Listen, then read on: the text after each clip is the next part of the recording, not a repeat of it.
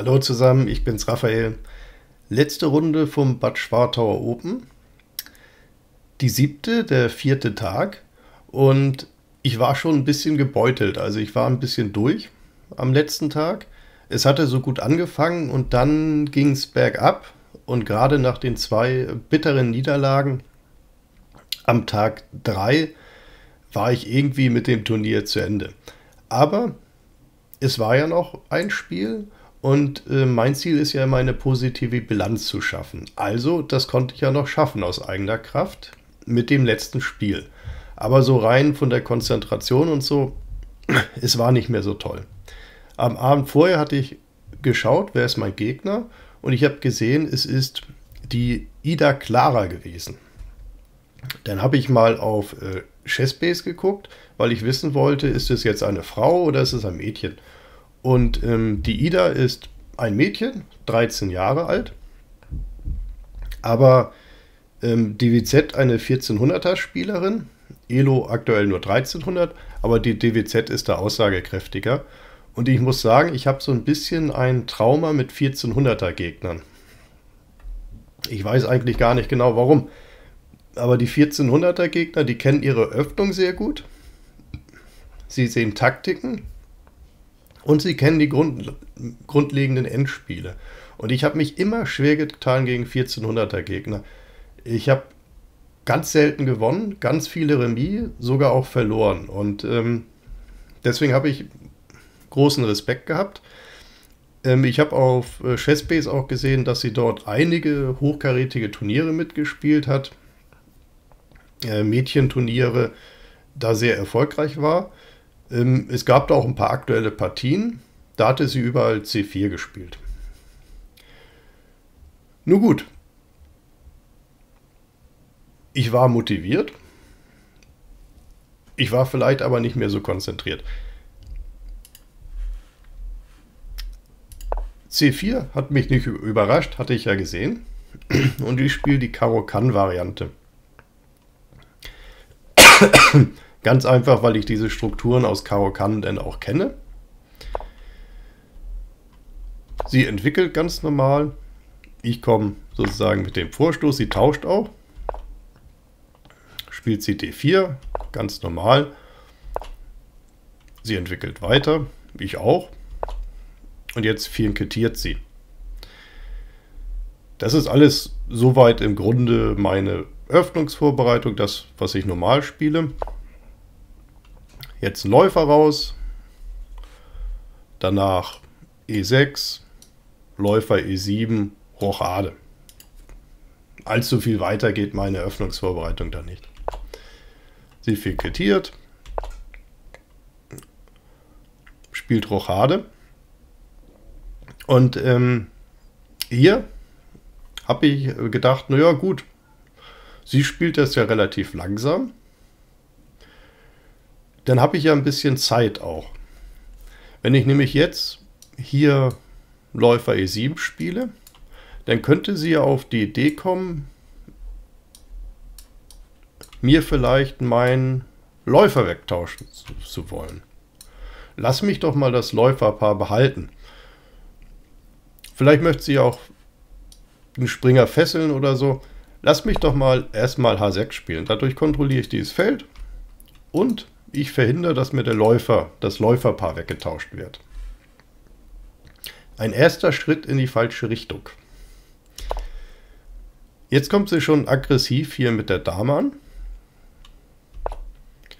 Ich spiele A6 und, huch, habe ich da was übersehen? Habe ich da einen Bauern eingestellt? Nein, das ist natürlich ein Trick. Den Bauern kann man nicht nehmen, weil jetzt die Dame gefangen ist. Die Dame hat kein Feld mehr.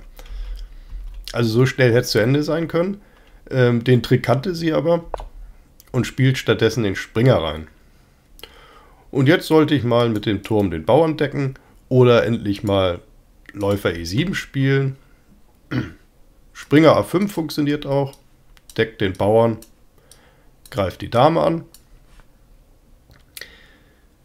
Ähm, ich hatte hier aber die Idee, Lass mich mal den anderen Springer zurückspielen und sie dazu zwingen, dass sie tauschen muss.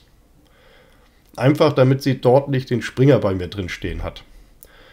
Sie tauscht jetzt auch und jetzt war ich zufrieden.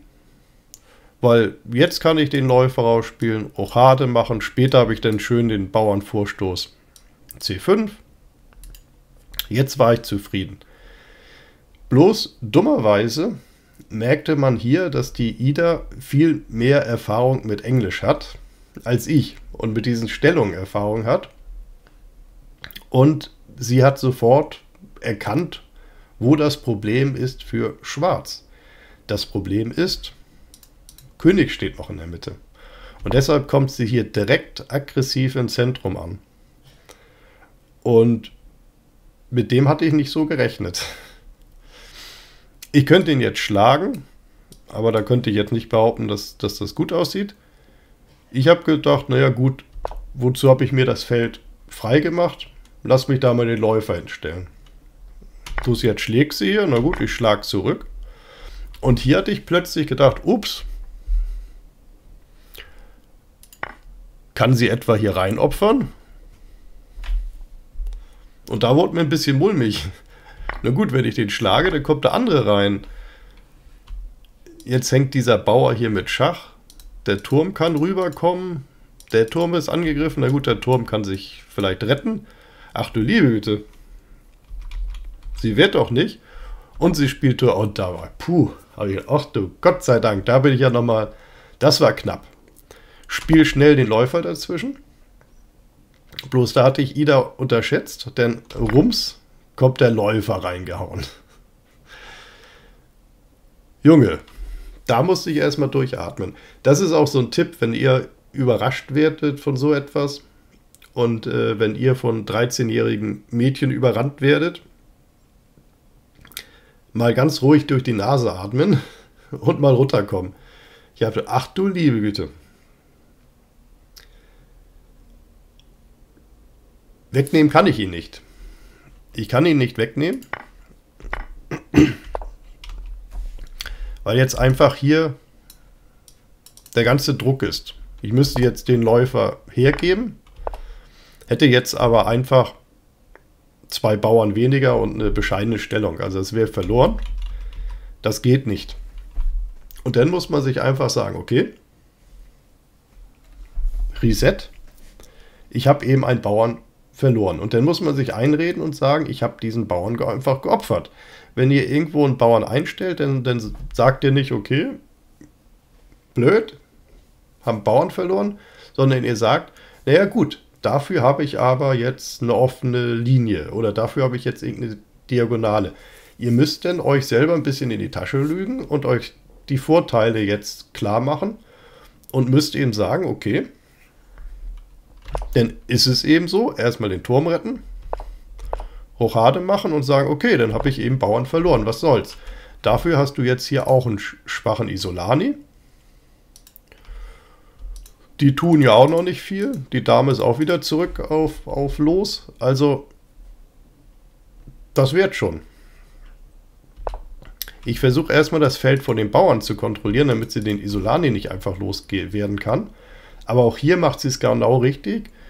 Ähm, bevor der Isolani irgendwann eine Schwäche wird, geht sie einfach vor und gibt den her. Ich tausche weiter. Und jetzt kommt sie mit der Dame, weil sie hat ja einen Bauern mehr und möchte gerne weiter tauschen. Ich kann hier den Abtauschen nicht wirklich aus dem Weg gehen. Ich muss ja auch noch den Läufer decken. Ich gehe mit dem Läufer raus. Und jetzt ahnt ihr langsam, was ich meinte mit, man muss dann auf Aktivität von den Figuren spielen. Sie tauscht weiter. Und jetzt haben wir diese Stellung. Natürlich, Weiß hat einen Bauern mehr. Aber wer hat jetzt die besseren Figuren? Meine Figuren haben alle mehr Aktivität. Das ist so ähnlich wie im Benko Gambit oder im Vol Gambit, ähm, dass man sagt, okay, man gibt am Rand Bauern, hat dafür aber offene Linien, um Druck auszuüben. Und das habe ich auch. Ich habe hier jetzt richtig Druck. Der passt im Grunde nur auf den Bauern auf. Der kann sich nicht entwickeln, der kann auch nicht rüber. Und darauf spiele ich. Und da, da war ich mir auch sicher, das halte ich Remis. Ich habe aber auch hier immer mehr gemerkt, dass ich auch nicht wirklich mehr so konzentriert war. Das merke ich bei mir oft daran, wenn ich den Züge anfange falsch aufzuschreiben. Und hier ist mir ein paar Mal was passiert, das ist ganz untypisch. Ihr habt die Uhr nicht gedrückt. Die Ida war schon ganz irritiert. Sie hat dann immer so gezeigt. ich bin dann am Zug gemacht, aufgestanden, was gegessen, sonst was. Hat sie mich irgendwie so hinterher geguckt. Was hat sie denn? Bin ich wieder zurück? Habe ich was vergessen?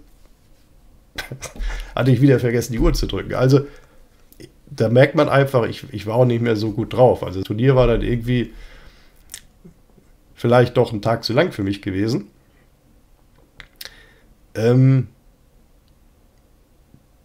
die Ida, die, die war die, die war noch sehr konzentriert und die hat, hat auch, auch ähm, am Brett einen sehr konzentrierten Eindruck gemacht. Manchmal musste ich ein bisschen lächeln, weil, weil sie hatte dann so Hoodie und hatte so, so drüber und dann saß sie da so, so wie so Darth Vader für Arme. Das war ganz nett. Nun gut. A4 versucht irgendwie den, den Turm ins Spiel zu bringen. Ich versuche zu verhindern, dass sie hier mit Tempo den Läufer entwickeln kann. Sie geht auf den Bauern los. Ich decke den Bauern. F4 fand ich jetzt nicht gut. Weil das macht den König schon sehr offen. Ich gebe erstmal das Schach. Und sie geht in die Ecke. Finde ich auch nicht so gut. Also ich glaube hier vielleicht einfach den, den Läufer dazwischen und dann den Bauern wieder zurückgeben. Sie geht aber in die Ecke, war also noch motiviert, engagiert, sie wollte gewinnen.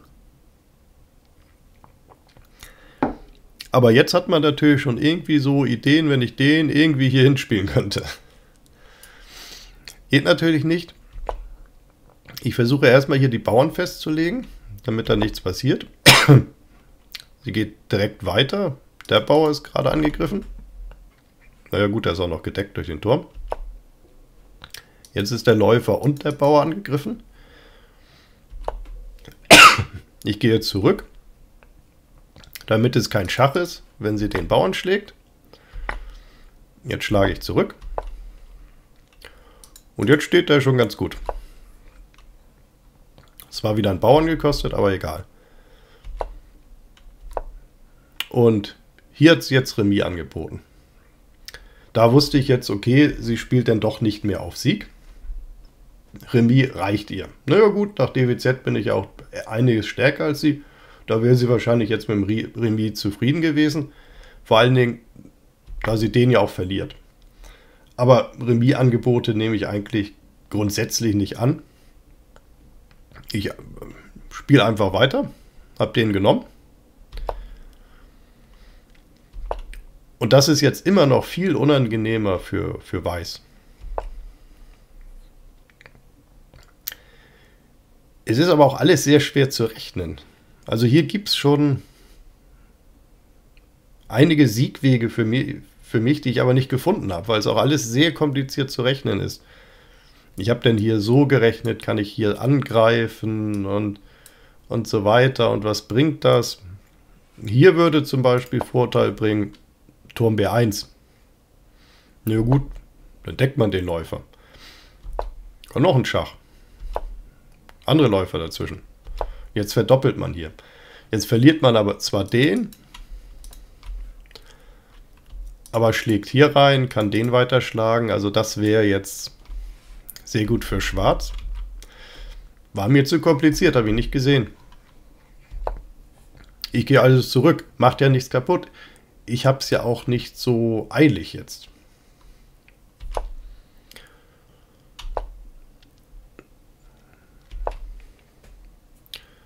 Angriff und Gegenangriff.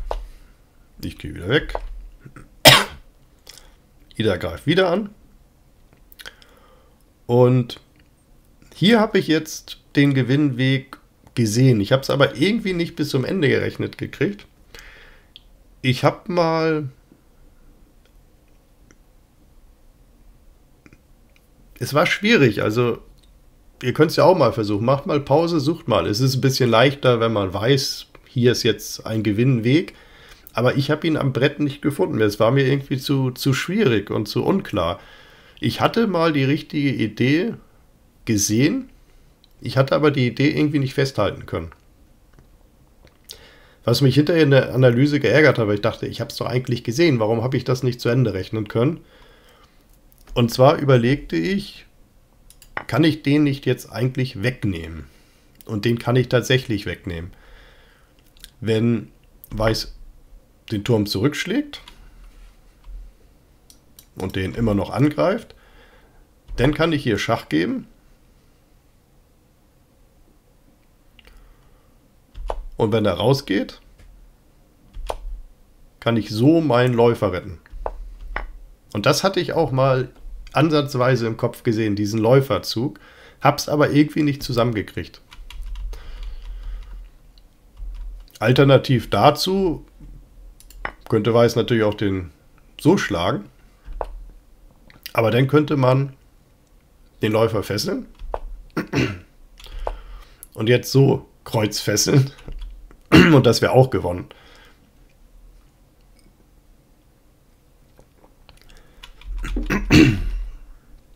Ich habe das hier in der Stellung aber nicht auf eine Reihe gebracht, alles korrekt durchzurechnen. Und habe dann aufgegeben, habe gesagt, ich mache einen Zug, der nichts verdirbt.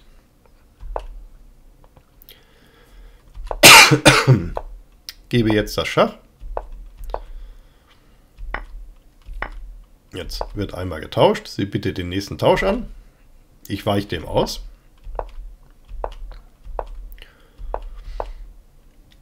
Und halte jetzt nicht an dem Bauern fest, sondern sehe bloß zu, dass ich den gewinne.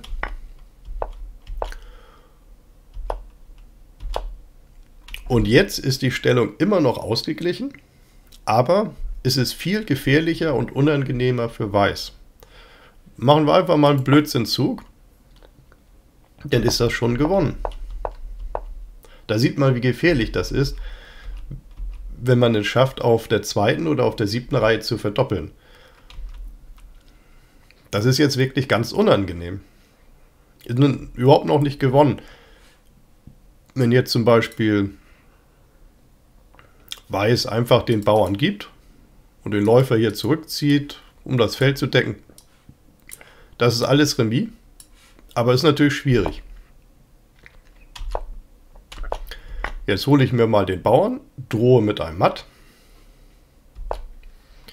Sie verhindert es. Ich habe Zeit. Aber auch keinen so richtigen Plan. Versuche jetzt noch den letzten Bauern zu gewinnen. Sie deckt den. Ich gehe nochmal drauf. Er geht vor. Ich will jetzt nicht tauschen, sonst haben wir bloß ein Endspiel, das Remis ist. Deswegen gehe ich vorbei. Ich drohe wieder mit einem Matt. Und jetzt erzwinge ich hier den Abtausch. Sie geht auf den Bauern los. Am besten sollte ich den decken. Ich habe gedacht, ich decke den hier durch die Figur durch einfach mal. Sie tauscht. Und jetzt gewinne ich den Bauern. Zack, da habe ich ihn. Und jetzt warten wir auch schon über vier Stunden gespielt inzwischen. Ich hatte ein paar Mal vergessen, die Uhr zu drücken, aber es passte noch alles für, von der Zeit her, weil Ida hat mich ja immer fair daran erinnert. Aber von der Zeit hatte ich jetzt kein Problem. Jetzt versuche ich erstmal hier so ein bisschen den, den König abzuschneiden. Und jetzt versuche ich mit dem König und den Bauern vorzurücken. Und hier hat Ida jetzt aufgegeben. Und da war ich ein bisschen überrascht. Habe ihr aber jetzt nichts gesagt. Ich habe einfach nur gesagt, ähm, nächstes Jahr spielen wir wieder gegeneinander und dann gewinnst du, habe ich gesagt. Aber mehr habe ich dann nicht gesagt. Ähm, sie wird es in der Analyse ja auch gesehen haben, dass das eigentlich noch eine Remisstellung ist. Das ist so bei Turmendspielen. Turmendspiele sind ganz oft Remis vor allen Dingen, wenn der König gut steht, dann ist das ganz oft noch Remis. Vor allen Dingen, wenn, wenn die angreifende Seite keine verbundenen Freibauern hat. In der ersten Runde hatte ich das gleiche Endspiel, aber mit den Bauern hier, mit zwei verbundenen Freibauern. Und dann ist es locker gewonnen. Aber mit geteilten Bauern ist es eigentlich ein Remis. Es ist aber ein sehr schweres Remis.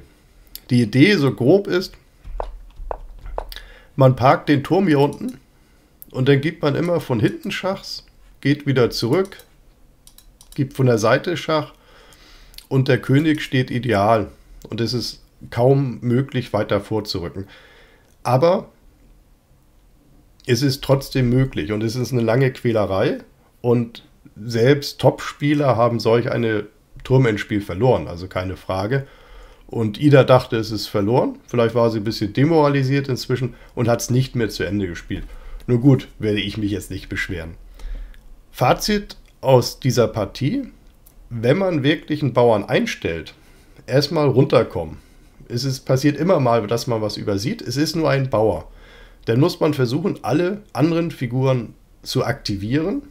Und diese Aktivität kann ein Bauern sehr gut kompensieren.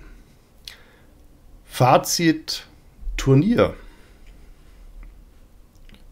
Wo hab ich's? Hier hab ich's. Wer hat gewonnen? Es hat gewonnen der 17-jährige FM Bornhold hat gewonnen. Vor Bruno Engel, das war der junge YouTuber, gegen den ich verloren habe.